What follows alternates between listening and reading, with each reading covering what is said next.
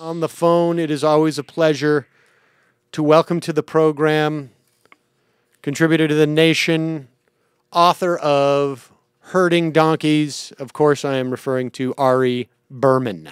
Ari, welcome to the program. Thanks for having me back, Sam.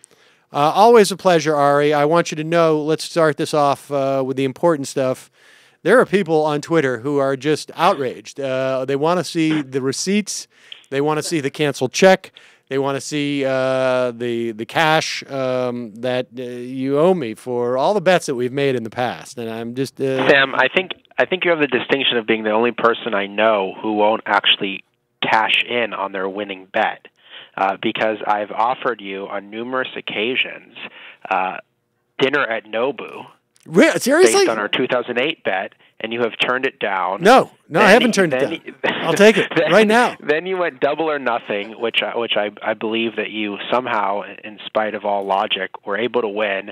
Then I credited you on Twitter while also demanding a recount, but I did credit you. Yeah. And and there was a conspicuous silence uh, from your Twitter account, which which really I'm uh, in, upset me. I'm in heavy negotiations to see if I'm allowed to go out and have a, a dinner at uh, Nobu uh, without bringing my family. And so uh, that's that's what's that's what's slowing. That's the, the you know the the wheels of progress uh, move slowly. Uh, but uh, all right, let's. I mean, I know how you want to avoid page six. So I'm waiting for another four years so I can triple this money. Uh, this is uh, I, am starting to look at this as my as my uh, soon to be born child's uh, second child's college uh, college fund actually so i hope you, you think of another revenue stream well. well. i'm hoping for huge success ari and uh, with pieces like this blockbuster piece in uh, the nation magazine on uh, entitled conservatives take aim at voting rights we have a link up at majority.fm um, this is uh, you've been on the, the the attack on on voting rights by uh, conservatives. Uh, you've been on this beat for a couple of years now, and um, we've certainly seen its implications in many respects, particularly in uh, Congress in terms of uh, gerrymandering in such a way that is uh, borderline in some instances could arguably be violation of the Voting Rights Act in some respects, but um, uh, certainly it has it has really perverted in ma- in many ways the um, the electoral process. But but before we go to that, let's talk specifically about the Voting Rights Act. Um, where what what was the impetus, obviously, for the Voting Rights Act, uh, and and specifically um, uh, Section Five? Tell us, uh, just give us a little background on the Voting Rights Act. Sure. So I'll just give you a, a brief history of uh, American politics in 30 seconds. Uh, but we all know the Civil Take War 45. ended in 1865, right? There was uh, a brief Reconstruction period when there were black senators, black congressmen, and black majorities in the South, which a lot of people uh, don't seem to realize federal troops were pulled out of the South uh, in 1877 as part of a compromise as a result of the disputed presidential election of 1876. Thus, really began the Jim Crow period in the South uh, when you had uh, Southern state legislatures pass things like literacy tests, poll taxes, grandfather clauses, all white primaries, and what you had is a situation where um, blacks went from being the majority in some states to essentially there being zero registered voters throughout the South among African Americans. And, and you had a situation up until the Voting Rights Act of 1965 uh, when an entire population was disenfranchised uh, in a very large region of the country. And so, even though the 15th Amendment was passed in 1870 to prevent discrimination in voting, saying that you couldn't discriminate on basis of race, color, or condition of servitude uh, to be able to vote, the 15th Amendment really didn't become the enacted law of the land in any practical purpose until the Voting Rights Act of 1965. And the Voting Rights Act of 1965 was so important because it fulfilled the promise of the 15th Amendment by guaranteeing the right to vote, uh, first for African Americans and then for other uh, minority groups uh, later on. And what it did is it not only abolished things like poll taxes and literacy tests, it not only mandated that uh, federal registrars would register people to vote, so it registered millions of black Americans in the South and later Hispanic uh, and, and other uh, minority groups. But what it also did most critically, and this is Section 5 of the Voting Rights Act, is Section 5 said to parts or all of 16 states with a history of racial discrimination in voting that they had to clear their election changes with the federal government. So the onus was now on the states to prove that their voting changes were not discriminatory and not on the federal government to have to intervene to block those states after they were put into effect. So that change really wiped out a generation of voter suppression, and that is what is being challenged right now before the Supreme Court. How, you know, we, you know, we've talked about this in the past, and obviously we've talked about Section Five of the Voting Rights Act on this program and, and, and with you in the past. How how was that determination made? I mean, uh, you know, uh, on its face it makes sense, but I mean, how do you know how they they specifically came about to say these sixteen counties um, have a uh, have a have a history of disenfranchisement? Yeah. I mean, what was so the mechanism? They, they, knew originally the states that they wanted to cover, and then they reverse engineered the formula to be able to cover them. So they wanted to cover essentially the six main states of the Deep South and then go from there. And what they did is they based it on uh, two criteria. One was whether states, as of the 1964 election, uh, had voter registration rates for African Americans below 50%, and whether in that same election they had something like a poll tax or a literacy test on the books.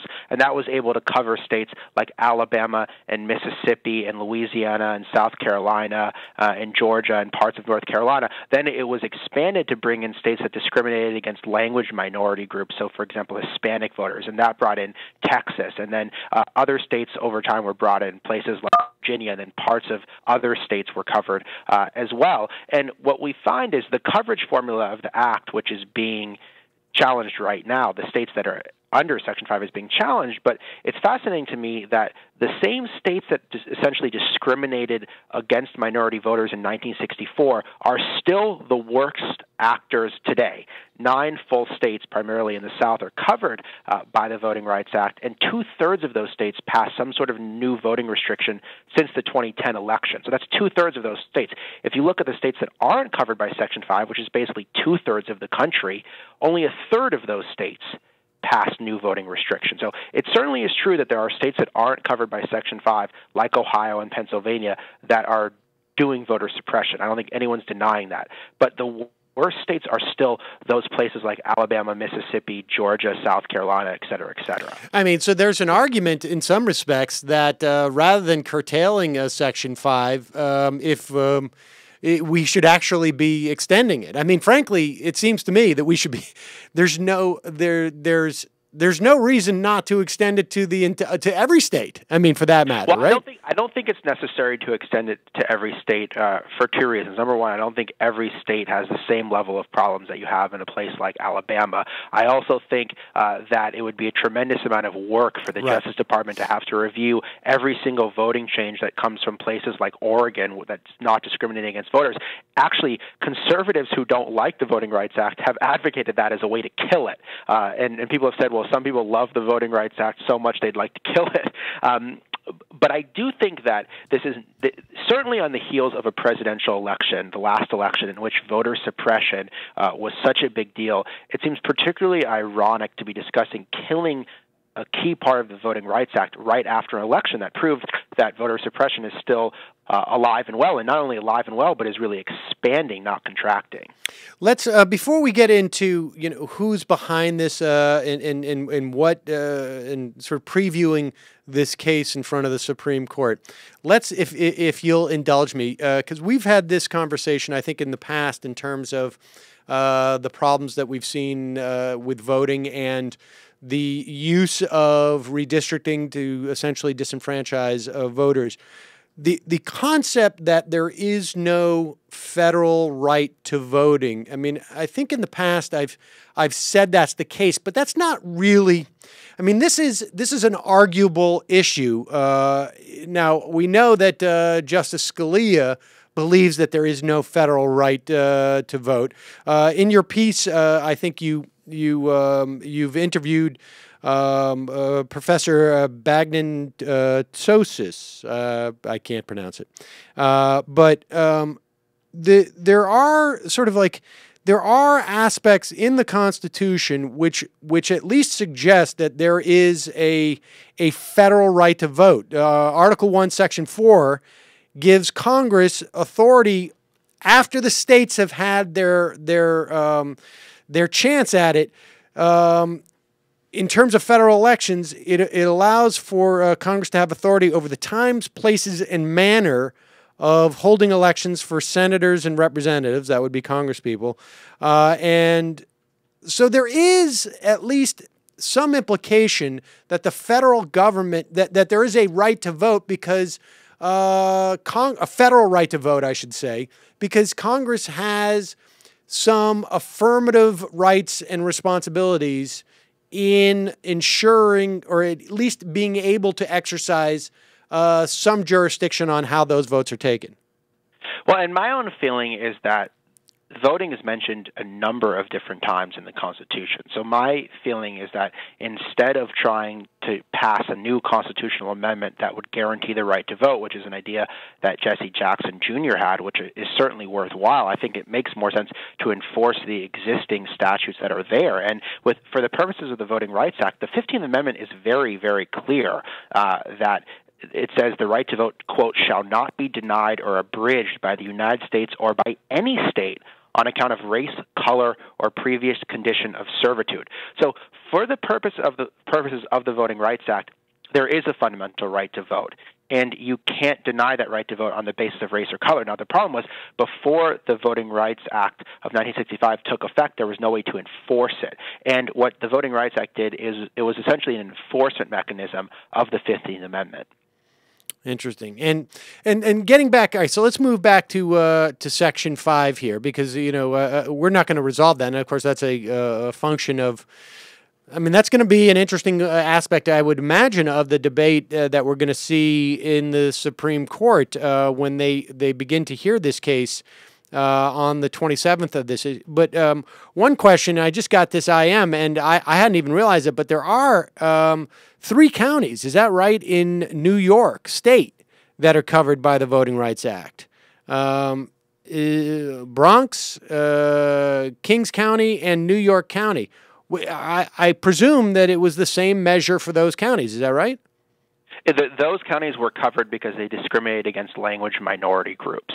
That they they discriminated against, uh, I believe it was first uh, Hispanic voters and then uh, Asian American voters, and uh, there are counties that are covered because they had English only information uh, for language minority groups at the polls, which is uh, prohibited under the Voting Rights Act. So that's why portions of New York are covered. I would imagine the same the, for Florida and California as well.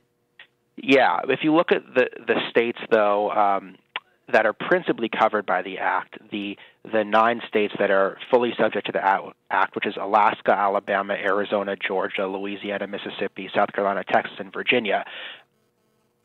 I mean, seven of those nine states are in the South. So really, the, the Voting Rights Act has its biggest impact in the South. That's mm. where voter suppression laws are uh, still concentrated, and that's interestingly enough the region of the country where demographic change, in, in many respects, is the most rapid. And right. so, even though opposition to Section Five has been around in the South ever since it passed, uh, there is an intensification of efforts to get rid of Section Five because uh, conservatives want to put in new voting restrictions in places like North Carolina and South Carolina and Georgia to try to stem the tide of, of rapid demographic change. And that, that really is at the heart of what's going on here because that is why we're seeing such uh, intense efforts to to uh, to overturn uh, the, Section Five. And I mean, I, I, imagine there's also an amazing story, uh, or at least um, a significant story in terms of, uh, of what was taking place uh, in the the Senate and the House in terms of negotiating and getting this law passed in terms of the implications of which states were on it and which weren't. Yeah, there were. I mean, this all happened very, very quickly. You have to remember. Uh, there were the Bloody Sunday demonstrations in Selma in March of 1965, in, in which people like Congressman John Lewis, who was at that time a young civil rights act, activist, uh, were brutally beaten uh, by demonstrating for voting rights. Uh, eight months later, LBJ, well, eight days later, LBJ introduced the Voting Rights Act, and it was signed by Congress in August of that year. And so uh, there there really weren't concrete plans to push a Voting Rights Act per se uh, until the Bloody Sunday March, and that that really accelerated the timetable. And so Congress, even though there was a significant uh, numbers of Southern representatives in Congress who oppose this thing, it did pass overwhelmingly. And it's important to remember that there's been four reauthorizations of the Voting Rights Act subsequently. All have been signed by Republican presidents. The last reauthorization of the Voting Rights Act in 2006 was passed overwhelmingly by a Republican House in 2006 and signed by George W. Bush.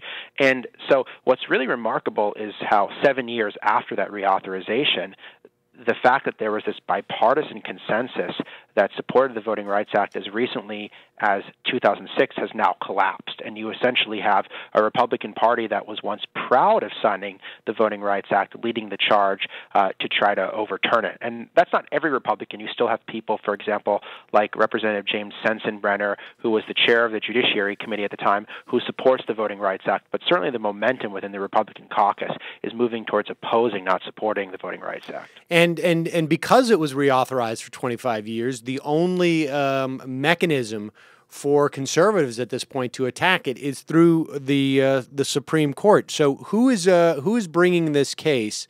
Um, who are the plaintiffs here uh, in this case? So the plaintiffs are from Alabama, which again is interesting because Alabama, more than any other state, is responsible for the pa- passage of the Voting uh, Rights Act. I'm going to have to do this. It seems uh, just too perfectly apropos.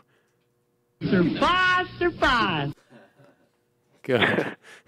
I don't know. So, so the, the uh, that really caught me off guard. So the the, the, challenge, Sorry, the, the challenge, uh, the challenge originates in Shelby County, Alabama, which is an exurb of Birmingham, which, as many people know, was once regarded as the most segregated city in the country. Uh, within Shelby County is a very uh, white, wealthy Republican county. Within Shelby County, there is a town called Calera. Calera was a, a pretty small town, about 3,000 people in 2000. Uh, a lot of people moved there from Birmingham uh, after 2000, so they did a redistricting in 2008 for local elections. Uh, there was one black member of the city council uh, in Calera. He represented a district that was 71% African American. After the redistricting, his district was moved from 71% African American to 30% African American by adding all these white subdivisions to his district. Uh, the Justice Department opposed the, the that change. They said that the city could have drawn a majority minority district and chose not to. Uh, so what happened was the Justice Department objected to this change a day before the election in Calera. Calera held the election anyway, and this black city councilman lost. There was new elections in 2009 as a result of negotiations with the Justice Department. Uh, this black city council member won his seat. That seemed to be the end of it. But what happened is Shelby County uh, decided to file suit challenging the constitutionality of Section 5 of the Voting Rights Act. And we can talk about this, but the, the challenge itself uh, was spurred on by a conservative legal defense fund in Washington. Well, that's the point, too, right? I mean, uh, this, uh, the Calera and the Shelby County probably didn't have the money or necessarily the, uh, the intense will to do this, but for a, uh, a conservative legal fund that wants to challenge the the Voting Rights Act. I mean, do we have a sense before we go into who that fund is, or well, let, let's talk about who who is that fund? Who's who is funding that fund?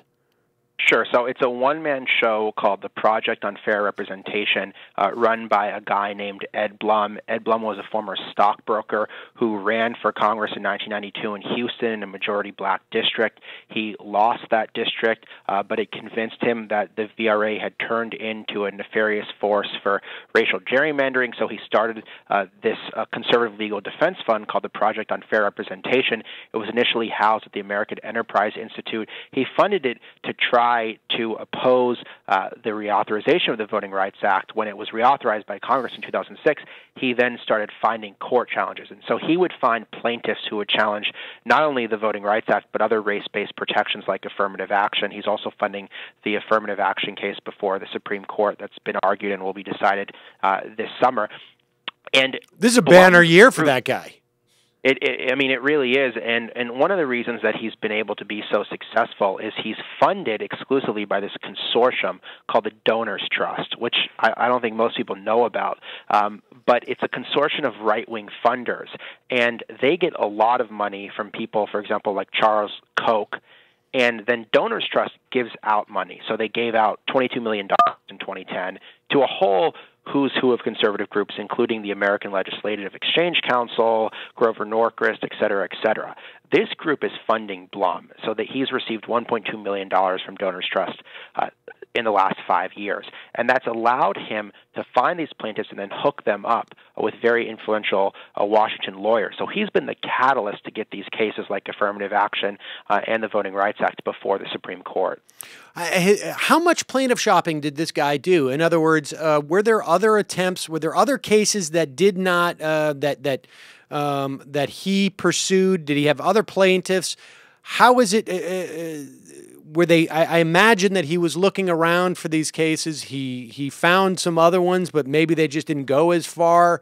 Um, the, what, what's the the history of of his uh, attempts to find the the perfect plaintiff that would be amenable to this uh, amenable, I should say, to this uh, Supreme Court? So eight days after Bush signed the reauthorization of the Voting Rights Act in 2006, there was a Blum sponsored case from Texas that was filed challenging the constitutionality of Section 5. Uh, it was heard 100 days uh, after uh, Obama's inauguration, and what the court did in that case is they, they said that this small local utility that was challenging the law, that they could quote unquote bail out of the Voting Rights Act and from Section 5. So uh, places with a clean record can get out of Section 5, which I think is important to note. And the Supreme Court said that uh, this utility from Texas could get out.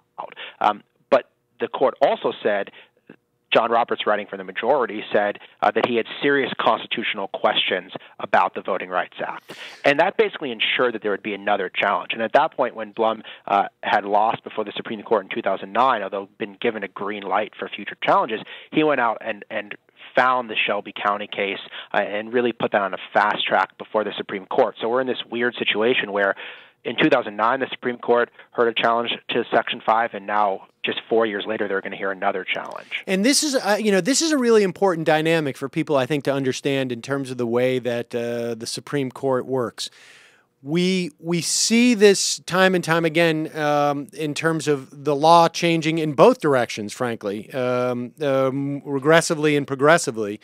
That the Supreme Court will take sort of um, tangential or ancillary cases that uh, begin to chip away and, and basically set up um, uh, the and create sort of a, a body of of decisions that will set up for a case like this. So, I mean, we can look to the um, the Affordable Care Act uh, uh, ruling and say the the court has set up certain uh, potential. Uh, a potentiality in the future to to find uh, to change the law of the land in some respects because it has chipped away at the Commerce Clause. In this instance, we saw the Supreme Court uh, use this first case as a way of perhaps basically setting up this one. And I think I, I you know, uh, and I don't know if you've done any reporting in this regard, but I think it's it's naive to presume that there isn't indications, uh, both in the opinions that the Supreme Court justices write and through sort of their associations as to uh, what kind of case the Supreme Court is interested in hearing. Well, and and and John Roberts has made it very clear that he wanted to challenge Section 5. John Roberts made his name as a young lawyer in the Reagan Justice Department by opposing the expansion of the Voting Rights Act. It was a different provision of the Voting Rights Act, but Roberts has a long history of activism against the Voting Rights Act. Uh, and it's important to remember just how radical a decision would be uh, striking this law down. I mean, this is this is something uh, Section 5 that's been upheld in four different Supreme Court challenges. This is considered the most important civil rights law passed by the Congress, one of the most important pieces of legislation passed ever by the Congress. And this was something that was reauthorized overwhelmingly overwhelmingly in 2006. And so, what the court is going to say here, if they strike down Section 5, they're basically going to say to Congress, you didn't have the authority to overwhelmingly reauthorize this law. And that's a very, very slippery slope. That's a that decision would have ramifications well beyond the Voting Rights Act and imperil all other pieces of legislation uh, that Congress passed to try to remedy discrimination in one form or another. It also, it also, I mean, uh, just in terms of like broader, um, uh, you know, uh, judicial philosophy, this is this is one of those classic cases that conservatives supposedly always have a problem with, right? Which is, which is overturning um, duly passed legislation by uh, by Congress. I mean, this is what they consider to be judicial activism. Is is well, essentially yeah, exactly. I mean, I think it would be a very very rapid decision. It would go against a long line uh, of precedent. Uh, it would I- invalidate a historic piece of legislation, and there's already a mechanism for pl- people who have clean records to get out from Section 5 can bail out from the act. And and since this 2009 court case that I referred to uh, earlier in the piece that the Supreme Court heard. Uh, states and counties are increasingly bailing out of the act in record numbers. And so basically, uh, what states are saying is that uh, they want to be able to keep discriminating because uh, if they stop discriminating, they could get out from the act. Those, and so they essentially want a green light to keep discriminating against minority voters. So wait, so the so uh, when when states and counties bail out of the act, do they do so with Department of Justice approval? Is that is that essentially the mechanism? Yes. yes. And and more jurisdictions have bailed out uh, in the last three years than that had bailed out in the previous 27 years. And what is the uh, criteria and, for doing that? That has tried to bail out has been turned down. So states can bail out of this, but you have to have a clean record to be able to bail out. And, and and so what is the what is the principle upon which the the the the plaintiff is arguing and, and, and again, we should say here that the plaintiffs aren't arguing that they they should not be subjected to um, the the Section Five. Uh, they're not saying our statistics show that we uh, should not that Section Five should not be applied to us. They are arguing that Section Five is unconstitutional. Is that right? And, yeah. and, and so, what is uh, uh, based upon what principle? So they are they are saying that the Section 5 was meant to be a temporary provision based on an emergency situation in the South, and that that quote unquote emergency is over, and that things have changed in the South sufficiently that the South should no longer be targeted. Uh, and they're, they're, it's unconstitutional for Alabama to be treated differently than Michigan. Now, oh. the problem with that argument is that there are statistics upon statistics, one of which I just mentioned earlier, that Alabama is much worse than Michigan, uh, that there are more likely to be challenges not only under Section 5, but obviously under other provisions of the Voting Rights Act. For example, Section 2 of the Voting Rights Act, that 81% of successful Voting Rights Act lawsuits occur in places covered by Section 5. So clearly, discrimination is still concentrated in those states. Uh, and the fact that there is voter suppression going on in Michigan uh, would seem an odd reason to say to Alabama, well, now uh, you get you get a green light uh, to do to do this the same kind of stuff. I mean, part of the reason why a, a, finding a decision that that somehow the Section Five is unconstitutional on those grounds is that if you're arguing that it was temporary, that it was meant to be temporary, um, then you're also arguing implicitly that it was constitutional to deal with a an existing situation if you cannot prove that that existing situation has gone away, there's no reason to argue that the Section 5 is now unconstitutional for some reason. If you are arguing that it was meant to be temporary, there seems to be to be ample evidence that it was temporary for those states that have been able to opt out once they have uh, proven that they have sufficiently corrected the problem that made Section 5 constitutional when it was implemented. Uh, there, there's going to have to be a lot of uh, sort of uh, pretzel twisting for, for, for, for the, the, the Supreme Court to, to find this act sort of on its face unconstitutional. Well, the question is: Is this going to be an empirical judgment, or is this going to be an ideological judgment? You, well, you then I already know how they're going to rule. Yeah, but but what I'm going to say is, if you have justices on the court uh, that have a long history of being skeptical of remedies uh, to racial discrimination. John Roberts certainly falls in that camp. Anthony Kennedy is more of a swing vote. He is someone who has praised Section 5 as recently as 2009, uh, but has also worried uh, that it doesn't make sense to treat, as I mentioned earlier, Alabama different than Michigan. And even though uh, in 2009 the evidence was presented before Kennedy uh, that states like Alabama were much worse in terms of discrimination than states like Michigan, he really was obsessed with this point. And I don't know if the evidence of the 2012 election, the thing I mentioned earlier, uh, that two thirds uh, of the states that are fully covered by Section 5 passed new voting restrictions, but only one third of the states that aren't covered by Section 5.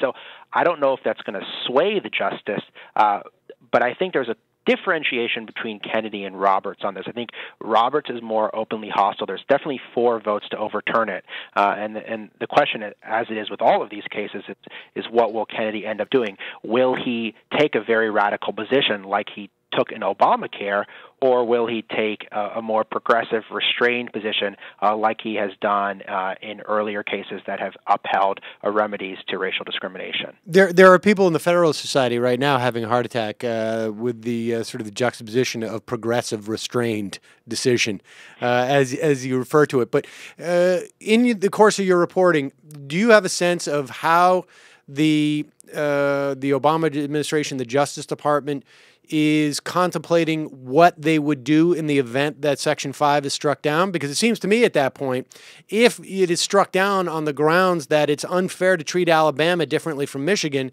then the there is, at the very least, uh, and I don't know whether or not it could pass, but an argument that, okay, we're going to have to do this. We're going to have to add uh, attorneys at the Justice Department, and we're going to have to uh, su- uh, suggest legislation that says everyone is subjected to a pre-clearance. Um, uh, you know, prior to any any, let's say, uh, they create a a new uh, floor for for or a a threshold. what what type of decisions might change? The, uh, the, the, have genuine impact on on on the electoral process. Is is well the, pro- the the problem is that anything any change is going to have to pass Congress. And I don't expect House Republicans, uh, given the current makeup of the Congress, uh, to pass any sort of new fix to the Voting Rights Act. I would agree to uh, that. If, I would agree with that too, but that doesn't necessarily mean that you don't uh, start to uh, create this legislation and contemplate it. I mean, surely. No, you create you create it, but in the interim, the Justice Department would be really hamstrung because the Justice Department is acting based on congressional authority, and so any kind of new legislation would have to pass Congress. So you know, if if the court doesn't uphold the act and they don't fully strike it down, but they instead say to Congress, you need to quote unquote fix this, which I think is a, a fairly likely outcome, that's as good as killing it for now because this Congress is not going to pass a new extension of the Voting Rights Act, and it's certainly not going to pass an extension that puts more states as part of this. That's just not going to happen. Wow. Uh, this is going to be uh, an incredible. So, give me a sense of just um, the, the, the the the case begins on the twenty seventh. What uh, what happens at that point? I mean, we we have a couple of days of uh, oral arguments, and then no, find it's it's it's it's one day, and it's about an hour. I mean, people forget that Supreme Court cases are very very short, uh, and the the oral arguments don't last very long. There's been a plethora of briefs followed uh, filed on both sides. So there's a huge leg- uh, volume of briefs before the court. I don't know how many of those uh, they will read, um, but the case will be heard on February 27th, and then it's likely that there will be a decision uh, in June. It's shaping up to be a very, very consequential Supreme Court term. We're going to have decisions on the Voting Rights Act, on affirmative action, and also Prop 8 and the Defense of Marriage Act. So it's it's one of the most important Supreme Court terms, I think, certainly in my lifetime, and, and perhaps in the last 50 or 100 years. Uh, and, and, and is there a commensurate sort of uh, outside political sort of response to this? In other words, you know, uh, one of the things that uh, there was some speculation that influenced uh, John Roberts' decision in the Affordable Care Act was the amount of attention it was getting. Um, yeah. And it seems to me that I haven't heard anyone, uh, short of yourself, um, you know, maybe I've seen some small uh, pieces, but I haven't uh, heard of any political organizing around this at all. I mean, because the, you know, uh, presumably, if if there was to be if there had to be some type of if they, if they threw it back to Congress and said you have to remedy this, that of course makes it explicitly political. Uh, but um, one would imagine that you'd want some sense that hey, look, the country's watching, you know, and paying attention Yeah. to it. Uh, I think there needs to be more pressure uh, put on the court. I think that more people um, need to talk about. It. I think more people need to talk about uh, the level of radicalism uh, that there would be. There's been a, a number of congressional briefs filed. Um, by people like Harry Reid, but also by people, Republicans uh, like James Sensenbrenner in the House, and I think those people um, need to speak up more talk about what the ramifications would be. And I also think that people need to start thinking, well, what happens? What do we do if they strike this down? Or what do we do if they say fix this? Is there some sort of plan that you can put out there and start pushing so that people aren't just caught like they were after the Citizens United decision with no answer?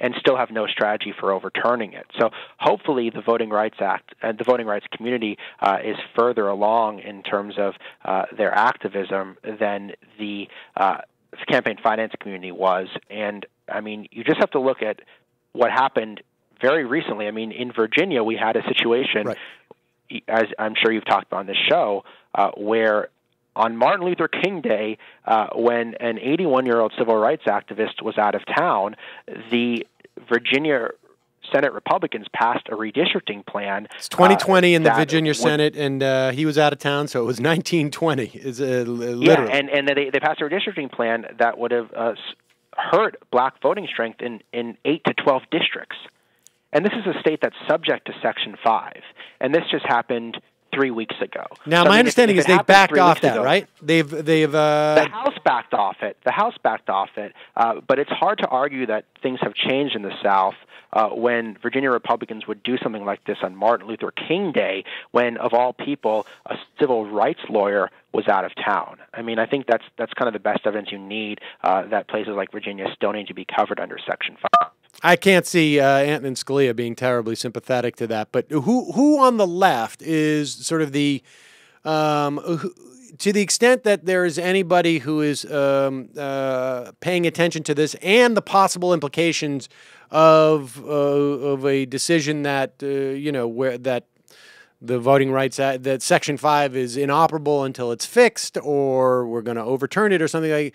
What organization, through your reporting, is the um, seems to be the sort of the the the, the beachhead, uh, or that is doing the most work in in trying to plan for that potential outcome?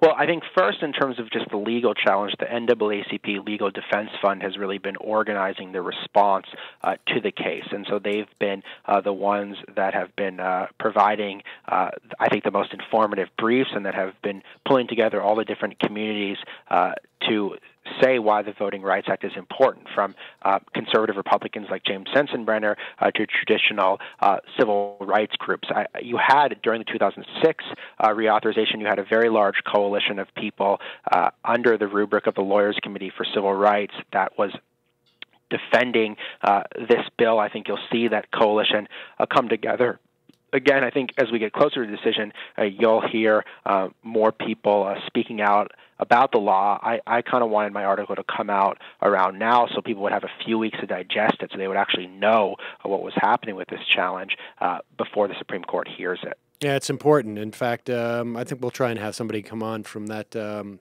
from the uh, NAACP to uh, discuss it. Um, I think I went to college with one of their lead litigators. So. Uh, thank you for that, Ari. And uh, well, Ari, uh, fascinating piece. It's something obviously that's hugely important, not getting enough um, uh, attention. And uh, I think it was uh, rather thoughtful of you to do it at this time, as opposed to when on February 27th, when everybody else will write this piece.